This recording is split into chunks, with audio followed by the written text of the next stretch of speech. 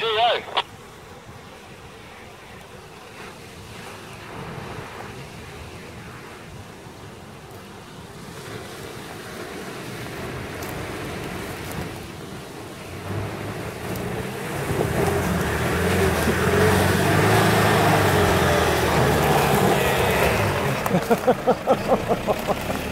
that true? It's quite fun.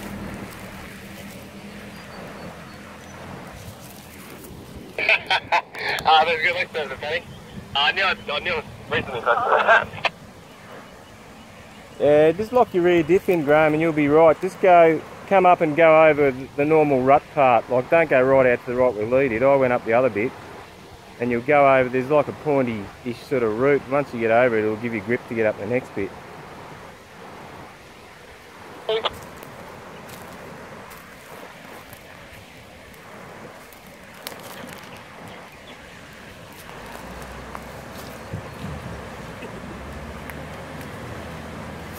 Yeah, I just went straight up that route there. I seen that bank coming across me and I got a bloody well. Yeah. Yeah, I didn't didn't like the look of bloody dropping out of it. So I wouldn't have done that one either. Oh shit, no. Go, Which way did you go up go way? straight up, go back a little bit, Graham, and go straight up the ruts. Because you're not going to hit anything underneath. Because it looks like you're clearing it at the moment. That's the oh. advantage of your auto. Yep, now you're... Now, because we've made it muddy for you, that's a bloody problem. That line you were just taking was pretty good though. You just need just a little bit more juice, not too much.